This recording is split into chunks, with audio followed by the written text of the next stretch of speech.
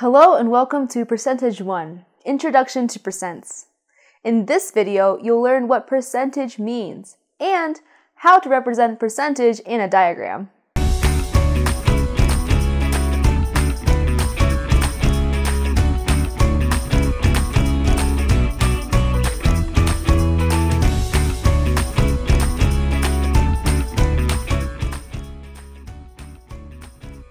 Have you ever been to shops and seen signs like these? What do these numbers and symbols mean? You're getting a deal, but what exactly does 10 or 20 or 50% off mean? You might have noticed this interesting symbol. It's called the percentage sign, or percent for short. The word percent can be broken down into two words per and cent. The word per means the same as for. The word cent comes from the Latin word meaning hundred. So, percent means for every hundred. And it can be shown like this as a fraction. This means percent or for every hundred. In fact, Percentages are another form of fractions.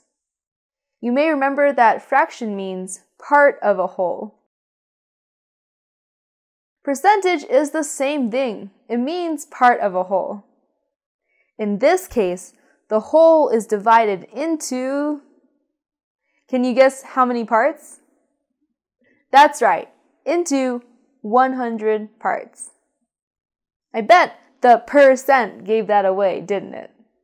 If you happen to see a sign that says 20% off, what exactly is 20%?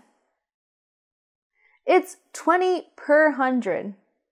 That means out of 100 parts, 20 are colored in.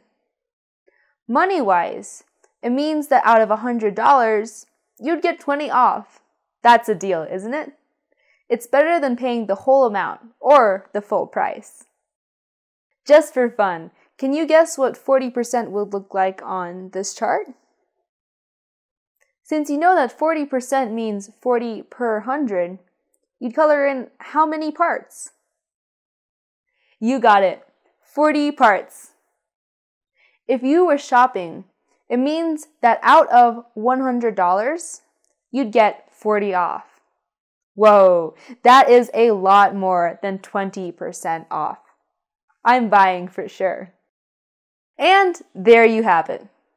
You have learned what percentage means. You can now point out percents to an adult when you go shopping. You can practice learning about percentage on our fun online games and quizzes. And remember, always be clever. Hey.